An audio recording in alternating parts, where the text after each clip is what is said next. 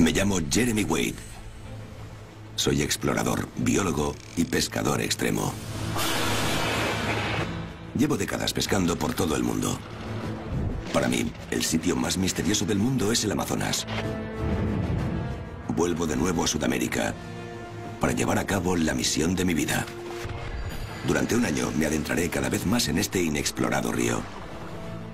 Llegaré más lejos que nunca para encontrar a los monstruos de río del Amazonas. Me he enterado de que se han producido tres misteriosas muertes en la zona norte del Amazonas. En todos los casos, se encontraron los cuerpos sin vida con lesiones muy extrañas.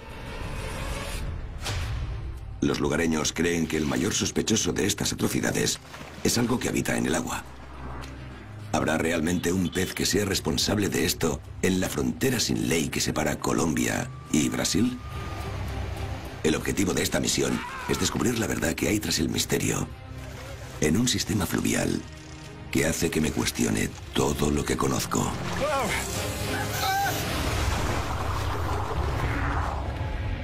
Monstruos de río. El exterminador de la jungla. Tres cuerpos en tres países del Amazonas y tres muertes inexplicables y una firma mortal. Pero, ¿qué fue el responsable? Los tres ataques se produjeron en la zona del Amazonas, en la que se juntan Brasil, Perú y Colombia. He dejado mi barca en el puerto brasileño de Tabatinga. Sigo las pistas del primero de estos casos. Una extraña muerte en una escuela rural a tan solo 16 kilómetros de aquí. Originalmente fue un asentamiento portugués y un puesto militar. Y actualmente se dice que Tabatinga es el principal puerto de entrada de Brasil de toda la cocaína procedente de Colombia. Me dirijo a una cita con un testigo que presenció este incidente. Aparentemente esta persona fue quien recuperó el cuerpo del profesor del agua. Pero para quedar con él tengo que cruzar la frontera colombiana para llegar a Leticia. Hay mucha presencia militar.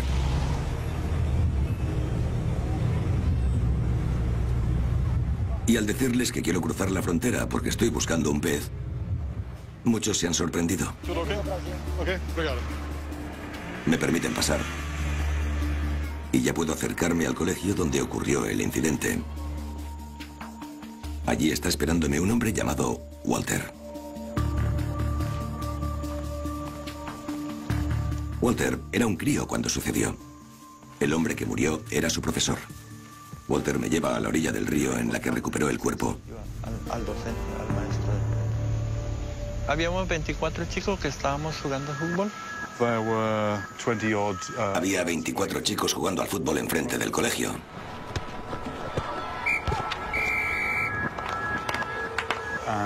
Y al acabar el partido vinieron hasta aquí con el profesor para refrescarse.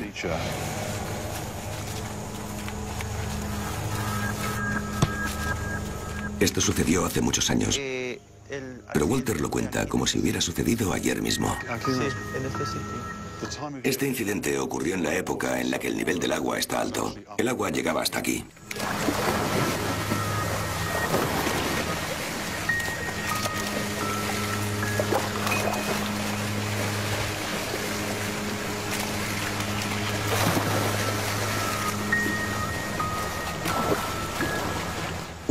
Amigos nadaron antes de adentrarse en el bosque y dejar a su profesor solo en el agua.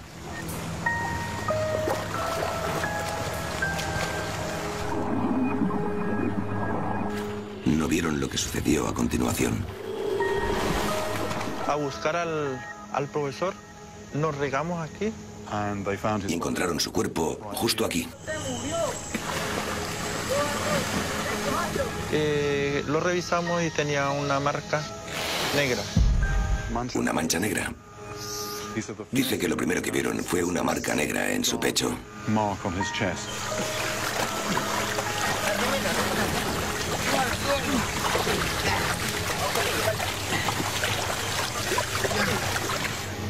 Parecía que le había golpeado algo. ¿Era un moratón? Fue una quemadura. Dice que parecía una quemadura. Seguramente fue por la fricción Pero dice que parecía una quemadura más que un moratón. Eh, la quemada o de un temblón. ¿Temblón? Temblón es un pez, son largos, grandes. Cuando ellos tienen contacto con uno, tiran un corrientazo. Por lo que me ha dicho, debió ser una anguila eléctrica. Ya me he enfrentado a ellas y sé que son capaces de matar a una persona. Pero hay algo que no me cuadra. La extraña marca oscura en el pecho del profesor. Jamás había escuchado que una anguila eléctrica causara esas heridas. Puede que un humano fuera el causante, pero también pudo ser otra criatura. Pero ¿qué vive en el agua que pueda quemarte? Gracias a la ayuda de un barquero local, me adentro en el agua. ¿Será el responsable una de las docenas de nuevas especies que se descubren cada año en las inquietantes aguas del Amazonas?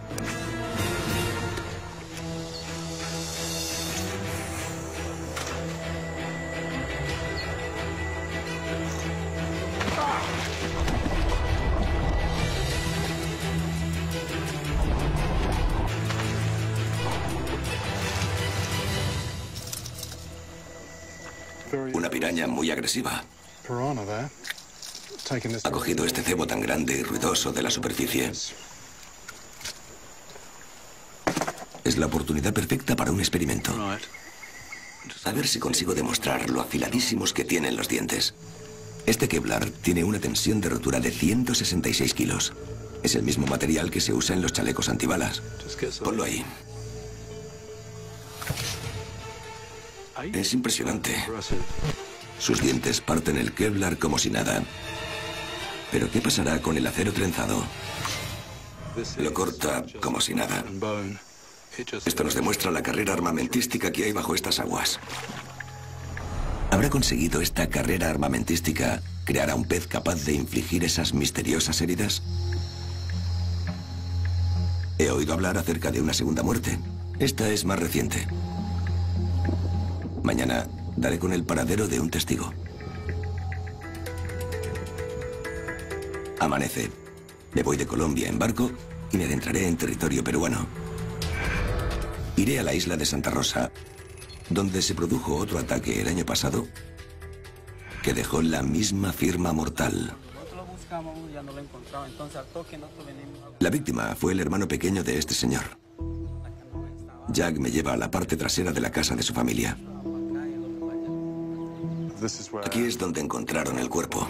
Nosotros pensábamos que él está entretenido en la malla. Sucedió un día como otro cualquiera. Su padre le dijo a su hermano que fuera a comprobar la red de pesca que habían dejado en esa dirección. Sí, estaba a lo menos unos 75 centímetros. El agua estaba alta y se fue de casa en canoa. Fue la última vez que alguien lo vio con vida. Estaba muy, como quien decir, tranquilo, ¿no?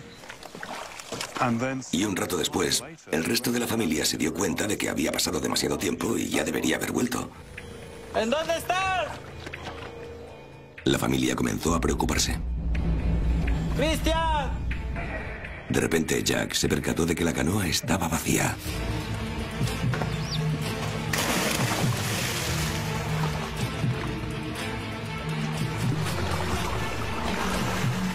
Al sacar el cuerpo de su hermano del agua, descubrió algo impactante. Levantamos a él. ¡Cristian! Tenía una extraña marca negra a lo largo de todo el pecho. ¿Marca negra? Sí, exactamente. ¿Y qué dijeron en el hospital? Es temblón. De un temblón. Es un animal muy peligroso que dentro que está en el agua uno hay que precaucionar. Parece que Jack también está describiendo a una anguila eléctrica. Los lugareños tienen muy claro que estas marcas negras son obra de un temblón. Los testigos culpan a un pez al que llaman temblón. No solo es que no haya escuchado hablar nunca de este pez, tampoco había oído hablar de ningún pez que queme la piel humana.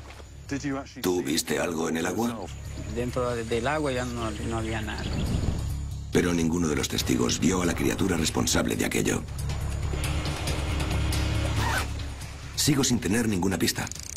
Así que hago lo mejor que sé hacer y me voy al agua que ya se ha alejado bastante de las casas. ¿Qué monstruos se esconderán aquí? Las cosas están demasiado tranquilas en medio de este agobiante calor. A lo único a lo que consigo atraer es a las mariposas, tentadas por la sal de mi sudor. Hay bastante actividad fuera del agua y me encantaría que hubiera la misma actividad debajo del agua.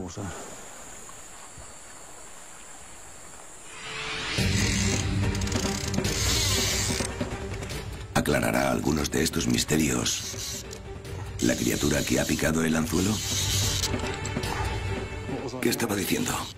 Me ha pillado por sorpresa. ¿Qué es esto? ¿Qué es?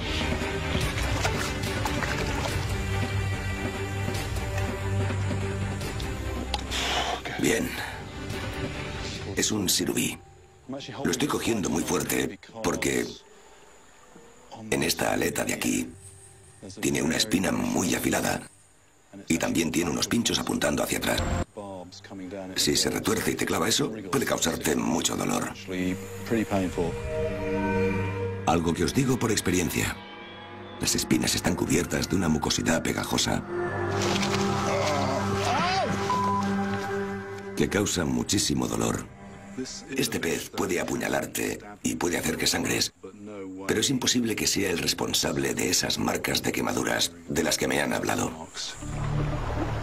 Me voy de Perú sin ningún testigo que viera el ataque ni ninguna captura de algún sospechoso. Ahora hablaré portugués. Me dirijo a Brasil, el tercer país de este trío de muertes trágicas.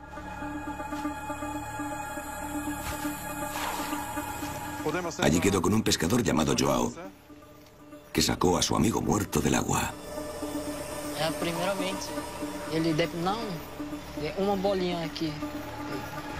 Me ha contado lo mismo que en las dos ocasiones anteriores. Tenía unas marcas oscuras por el cuerpo que parecían marcas de quemaduras. ¿Puedes contarme qué sucedió desde el comienzo?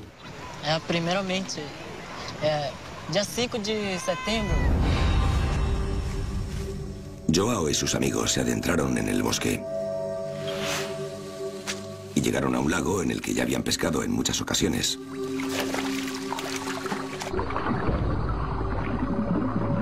já pegou muito, tem, pego muito peixe, muito, qualquer peixe.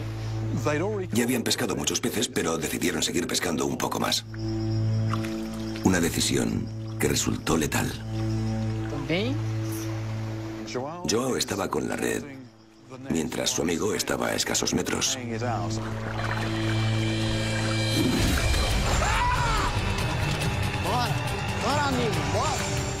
Su cuerpo se sacudió violentamente y desapareció bajo el agua. Sumiu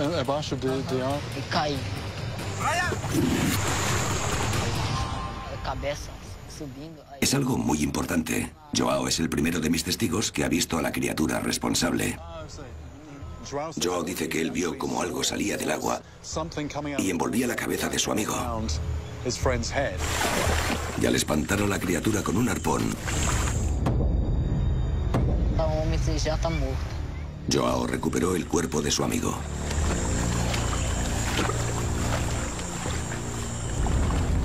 Esse animal, que, que foi que, que fez? Tal, Taú. tal, O, o nome português do, do, do peixe. por aqui. Por aqui. Now that is Es exactamente lo mismo que lo que llamaban temblón en Colombia o en Perú. Y nosotros conocemos a esa criatura como anguila eléctrica.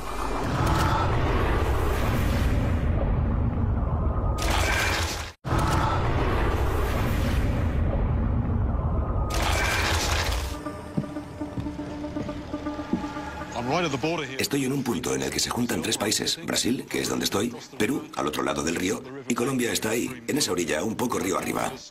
Ya me han contado tres historias de tres países diferentes en las que ha habido tres muertes inexplicables. Tres misterios que, teniendo en cuenta que estos tres países están comunicados por estas aguas, podrían estar relacionados. Haber encontrado a un testigo ha sido fundamental. Joao es pescador dice que vio con sus propios ojos a una anguila eléctrica atacando a su amigo. Sé por experiencias previas que no solo matan a humanos, también a animales de gran tamaño. Sus potentes descargas eléctricas provocan parálisis y obviamente la víctima se ahoga. Incluso tienen la potencia necesaria ¿400, 500 voltios? para provocar un paro cardíaco. Pero me parece imposible que haya un animal que queme la carne humana. Necesito más pruebas. Así que me dirijo a un lugar donde siempre se suele obtener información. La lonja.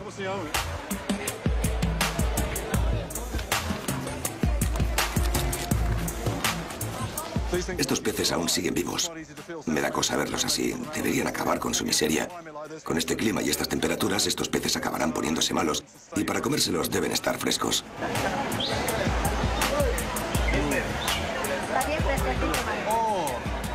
Es una arapaima muy grande.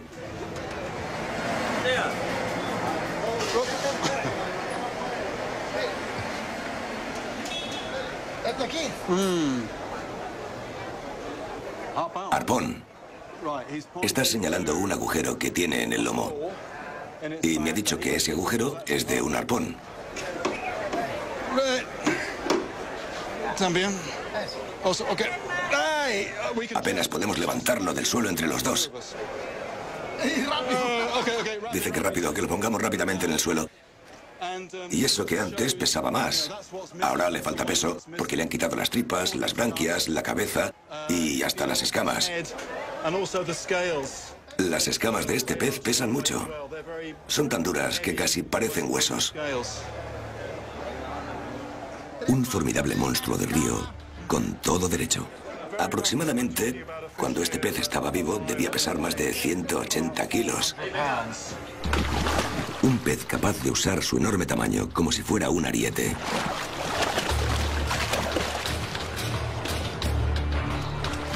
Pero no puede ser el culpable de esas extrañas lesiones de las que me han hablado. Parecía que le había golpeado algo. ¿Era un moratón? Fue una quemadura. No, con cabeza, con tripas, senti- Le pregunto al pescador si él sabe de algún incidente así reciente. Y me dice que hable con una médico que aparentemente examinó el cuerpo de un joven que tenía estas mismas lesiones. No pierdo ni un segundo y me dirijo a su clínica. Tal vez ella tenga alguna información acerca de las delatoras marcas que deja en la piel de sus víctimas. Vou descrever para mim o jeito das marcas. Mas também eu pude ver, veja só. La doctora Deise revisa el expediente. um pescador indígena, Trajeron el cuerpo de un pescador indígena a su clínica. de três faixas, Tenía tres rayas en la espalda y en el pecho. como se fosse um fio it's Dice que es como si le hubieran pegado al cuerpo unos cables eléctricos muy gruesos. Para que una anguila pudiera rodear a una persona tres veces, tendría que ser mucho más grande que cualquier anguila eléctrica que haya visto.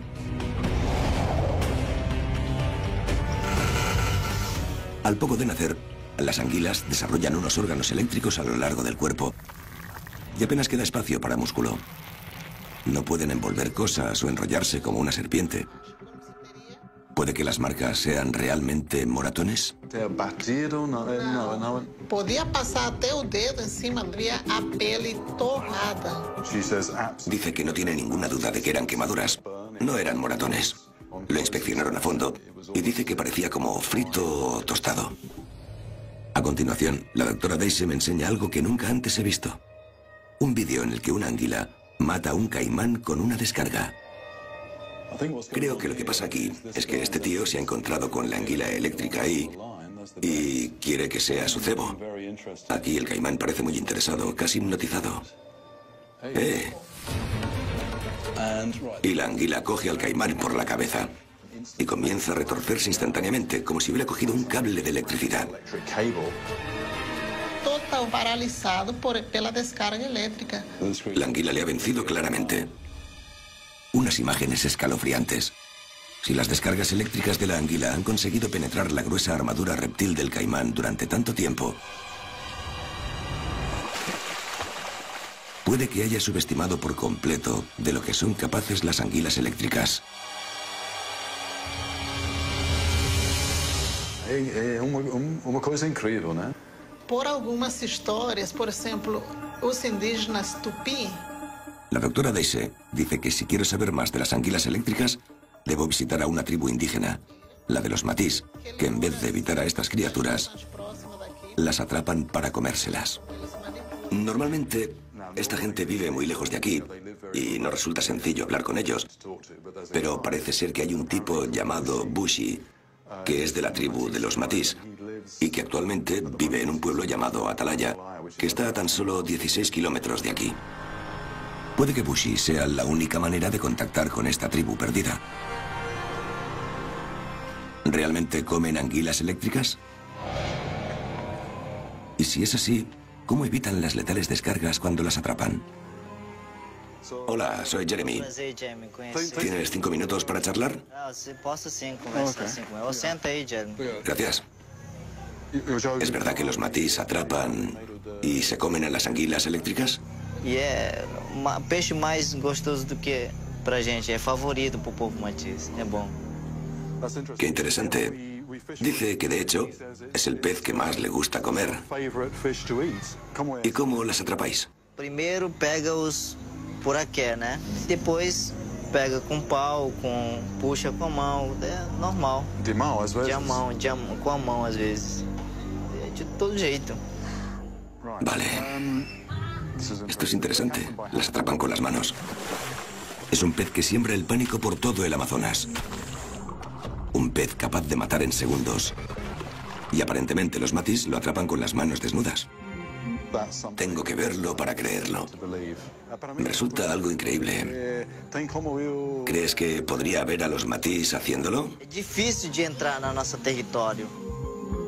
Bushi es muy amable y considera nuestra petición. Pero dice que su tribu vive a más de 800 kilómetros río arriba y que durante el viaje hay que cruzar el territorio de tribus muy agresivas que están en guerra. Y si eso no fuera suficiente, el nivel de los ríos está bajando, lo que hace que sean más peligrosos de navegar. Pero dice que si conseguimos llegar allí, esta es la mejor época del año porque el nivel del agua es bajo. Y ahora es cuando pescan anguilas eléctricas.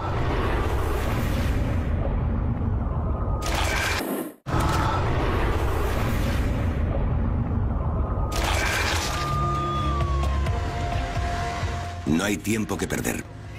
Decido ponerme en marcha con los primeros rayos de sol y me dirijo a la base del gobierno que se encuentra en el borde de la reserva, donde espero que me estén esperando con un permiso. No podemos dejarnos material. Nos espera un viaje complicado y mis cámaras y yo lo necesitamos todo. Solo los barriles de combustible necesarios para llegar allí pesan más de una tonelada. Es un viaje largo y agotador, pero puede que sea solo una fracción de lo que nos espera. Si han rechazado la petición de Bushi, se habrá acabado el viaje y la investigación. Es una apuesta arriesgada, pero cada hora que pasa estoy más cerca de los matís y sus extraordinarios conocimientos de las anguilas eléctricas.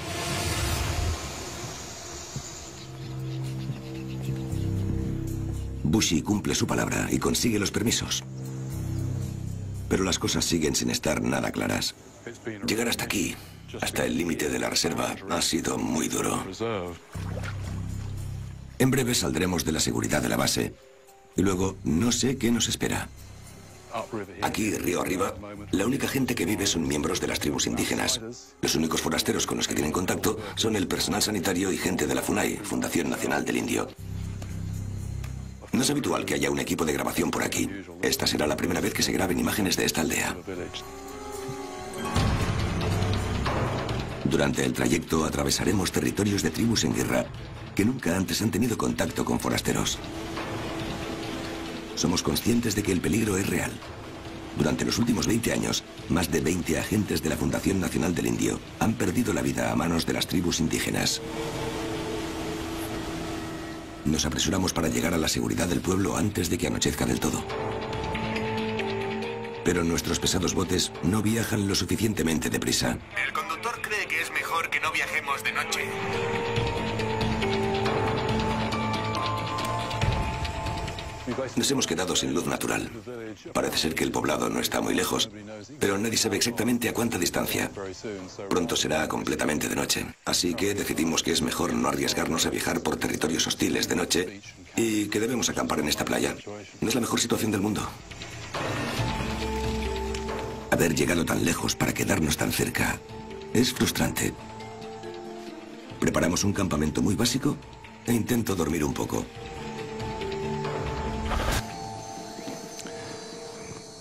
No me gusta esto. No puedo dormir. Cualquier sonido o crujido en la selva me recuerda a lo lejos y solos que estamos. No sé si estaba dormido de verdad o pegando una cabezada, pero allí hay algo. El único elemento disuasorio que tenemos contra los depredadores y las tribus hostiles es una pequeña fogata. Ha sonado un crujido. Era un crujido o algo rompiéndose. Ya llevo dos días viajando para reunirme con los matís y las anguilas eléctricas. Me adentraré en un territorio al que poca gente se atreve a entrar. Juraría haber oído algo. Ahora mismo, lo único que quiero ver es la luz del sol.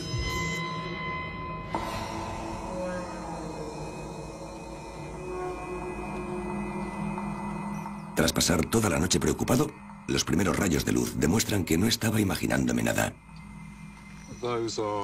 Son pisadas recientes de jaguares. Es prácticamente imposible ver a los jaguares en el Amazonas, pero es bastante probable que ellos sí te vean a ti. Sin más tiempo que perder aquí, seguimos con el viaje.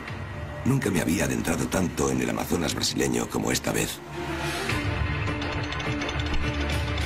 Compartirán los matís sus secretos conmigo y me ayudarán a resolver el misterio que estoy investigando.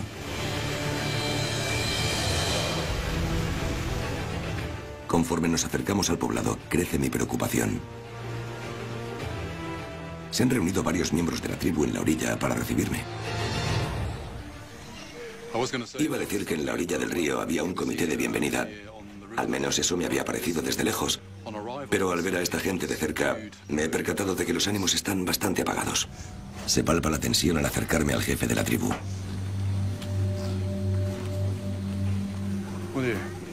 Y cuando Bushi me presenta, Jeremy. Algo queda muy claro.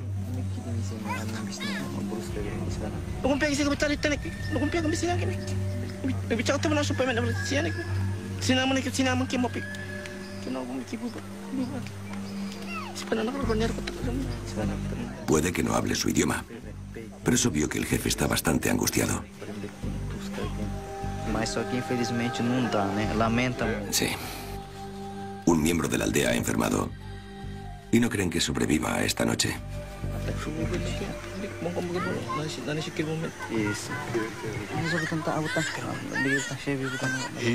Me ha pedido disculpas. Me ha dicho que normalmente me recibirían con mucha más felicidad y celebrándolo. Pero es precisamente su madre la que ha enfermado y dice que podría morir en cualquier momento. Así que no puede dedicarnos tiempo ahora mismo. Literalmente está esperando a que muera su madre.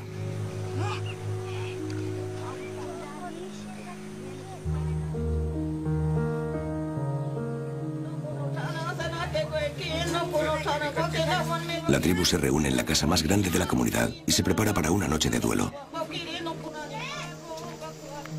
No es lugar para un forastero.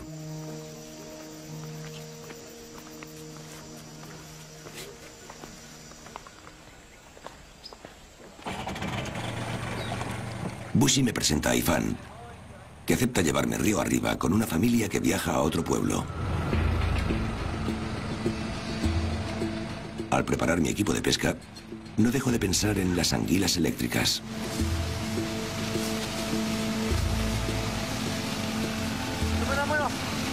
Ifan ha aceptado pescar conmigo. Y sé que es una especie de prueba.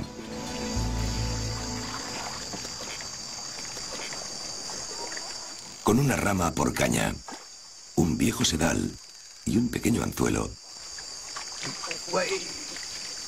Inmediatamente consigue pescar un pez. No está mal.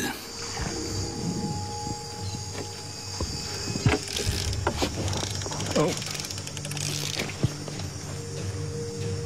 ¿Lograré también yo pescar algo a la primera? Es un pez de un buen tamaño. Espero ganarme el respeto y la confianza de la tribu. Mejor manera de hacerlo es ofreciéndoles una comida. Siempre que estoy pescando un pez así, me tiemblan las rodillas. Voy a dejar de tirar un poco. Lo veremos en un segundo. Lo vamos a ver en un segundo. No. No lo hemos visto. Cuando pescas en aguas turbias, hay que tener cuidado porque cuando los peces salen a la superficie y detectan la luz, se van inmediatamente. Ahí está, ahí está.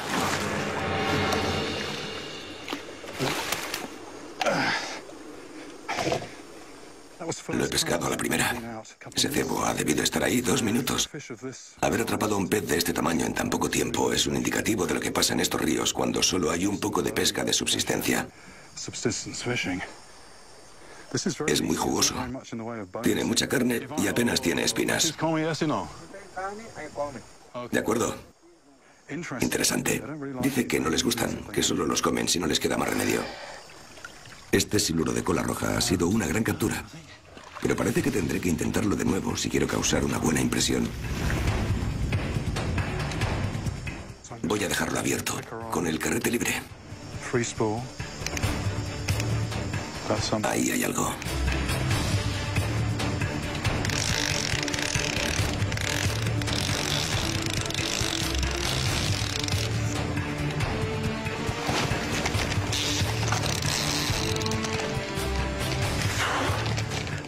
Toda la pinta de que está debajo de una rama. Es otro de cola roja, otro de cola roja. Así que tranquilo, tranquilo, tranquilo.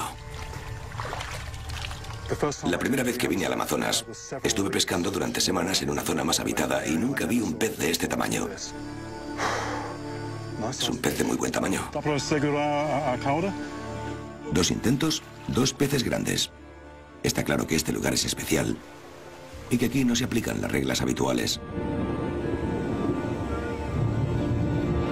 Al volver a la aldea nos cae una gran tormenta.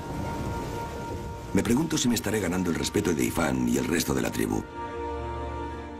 Al amanecer, me invitan a una cabaña en la que los cazadores están preparando dardos envenenados.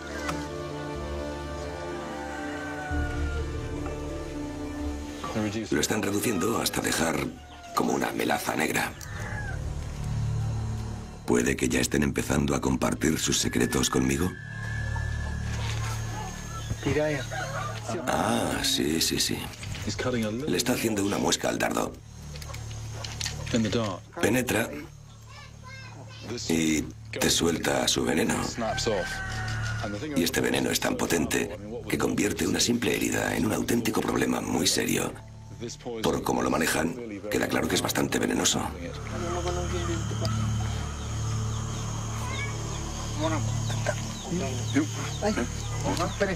Me invitan a disparar mi primer dardo envenenado. Estoy deseando impresionar.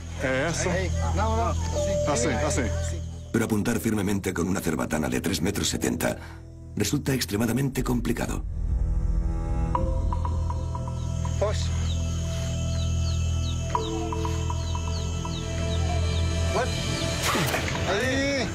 Le he dado. Le he dado al árbol desde aquí. Le he dado al tronco del árbol. Le he dado unos 30 centímetros abajo de donde apuntaba. He debido disparar desde unos 15 metros. Es una madera muy resistente. Y la punta ya se ha separado. Debe medir unos 2 centímetros. Y el último detalle mortal.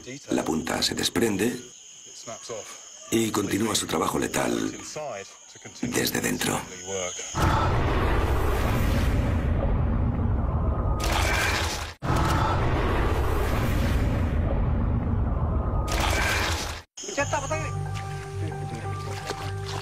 Me siento raro yendo en el asiento del pasajero, pero debo tratarles con mucho respeto si quiero ganarme la confianza de la tribu.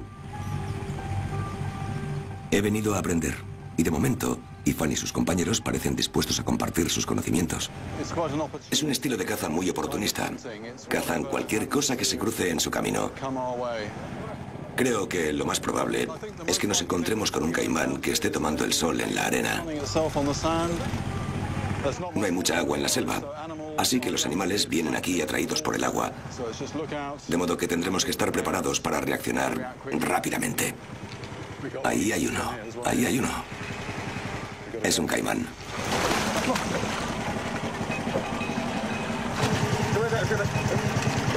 La increíble velocidad y destreza de los cazadores viene de toda una vida de práctica. En la punta de tan solo un dardo hay suficiente veneno como para matarme. Mientras Ifan prepara el dardo, me doy cuenta de por qué a los matís los llaman los hombres jaguar. Nunca había visto a unos hombres con una apariencia tan animal, tan de depredador.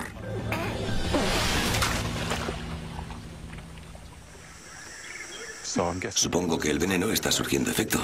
No está paralizado del todo, pero está incapacitado. En algún momento acabará subiendo. Ha cambiado el ánimo en cuestión de segundos. Hemos pasado de la emoción del disparo a tener que esperar. Como el caimán no sale a la superficie, le disparan más dardos. Ya está, ya está, ya está. Cuanto más veneno introduzcan en su torrente sanguíneo, más rápido sucumbirá.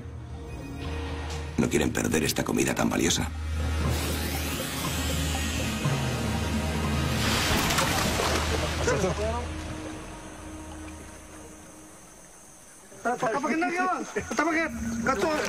Finalmente suben al caimán a bordo, donde Ifan le hace una pequeña bendición. Is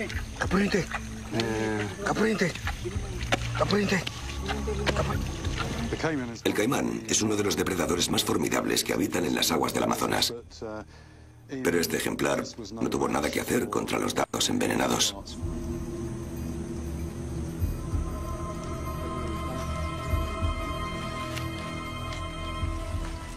Este caimán me recuerda bastante al caimán que vi en aquel vídeo. Aquel era más grande, y aún así la anguila eléctrica lo envolvió, y tan solo unos segundos más tarde estaba inmovilizado. Así que la anguila eléctrica hizo en cuestión de segundos lo que estos tipos han tardado más de una hora en hacer. ¿Será verdad que los matís son capaces de atrapar a estas criaturas sin que las descargas eléctricas acaben con ellos? Espero estar un poco más cerca de la respuesta. Al volver, Bushi me informa de que el chamán de la tribu quiere reunirse conmigo. Dicen que posee poderes misteriosos y que es capaz de proteger a los cazadores de las letales descargas eléctricas de las anguilas.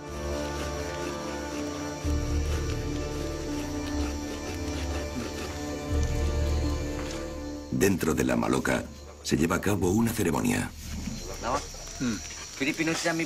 El chamán me pregunta qué espero aprender aquí.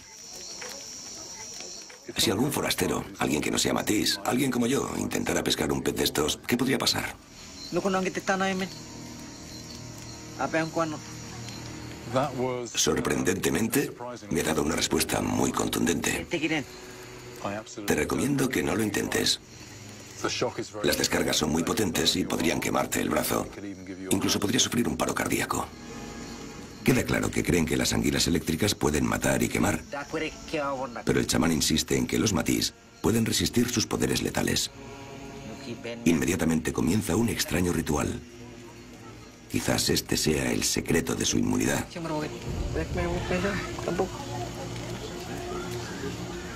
Quema estos dos palos de madera en el fuego.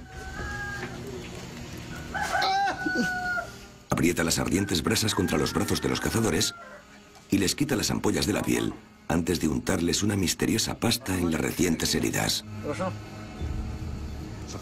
Es el veneno de la piel de una rana. Y la primera reacción del cuerpo ante cualquier veneno es vaciar el estómago. Los miembros de la tribu vomitan a mi lado. Y la conexión entre este ritual y la supuesta habilidad de los matís para manejar a las anguilas me parece un poco confusa. Pero debe haber una buena razón para pasar por lo que parece claramente una experiencia muy poco agradable. Dicen que los buenos cazadores deben llevar el estómago vacío. Tal vez hay algún tipo de conexión. No lo sé. Mientras los cazadores se recuperan, me queda clara una cosa. Parece que mañana puede ser el día que por fin vea con mis propios ojos a esta tribu manejar a estos peces que supuestamente pueden quemar la carne humana.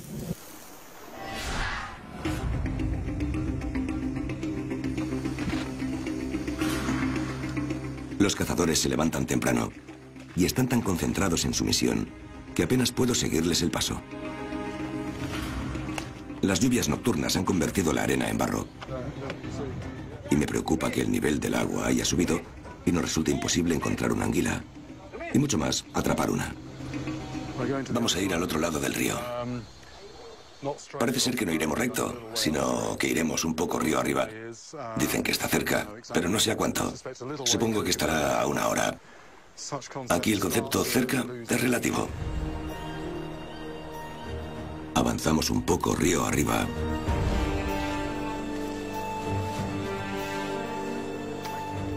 Antes de comenzar nuestra travesía por la jungla.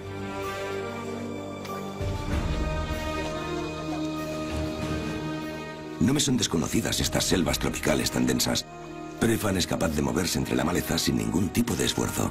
Nos estamos saliendo del camino. Llegamos a un estanque en el que los cazadores emplean por primera vez su técnica para atrapar anguilas. Al oír ese chapoteo, piensan que es un animal herido o algo así. Ese sonido les despierta la curiosidad. Empiezan a tomar posiciones.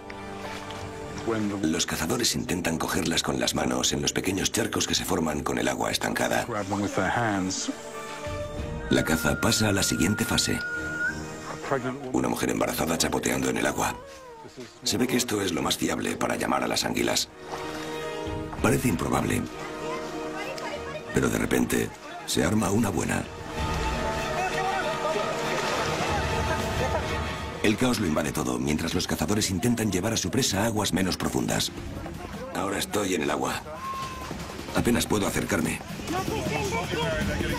La anguila se retuerce para liberarse. Está aquí, está aquí. Por fin, Bushi, el hombre que me trajo aquí. Veo cómo tiembla, veo cómo tiembla. Sostiene a una anguila eléctrica con sus manos desnudas. La está sosteniendo. He visto de lo que son capaces estos peces. No estoy cómodo estando tan cerca. Dice que está soltando descargas.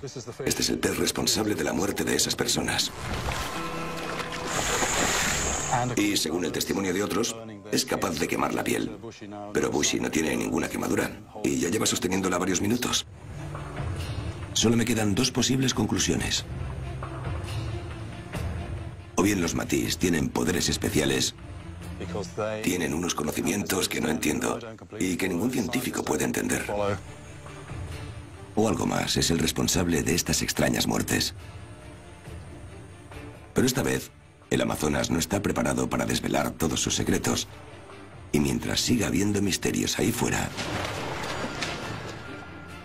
yo seguiré volviendo.